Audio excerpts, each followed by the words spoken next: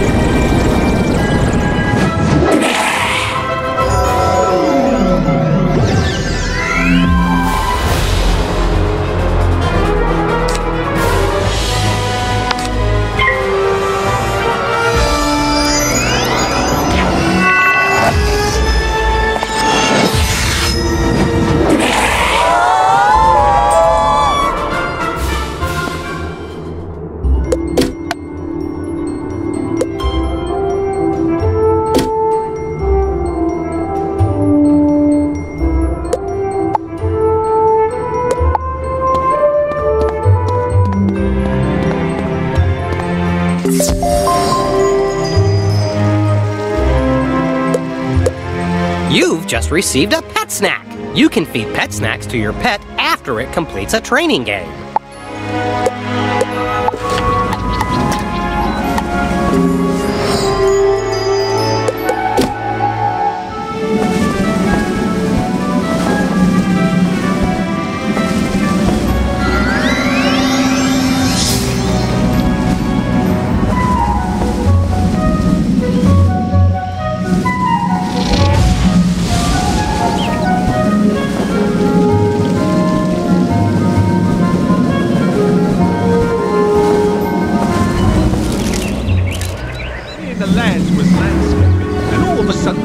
Opens up.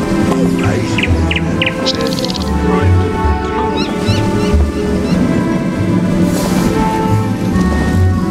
You were able to get the scrapbook from Sergeant Skull Splitter?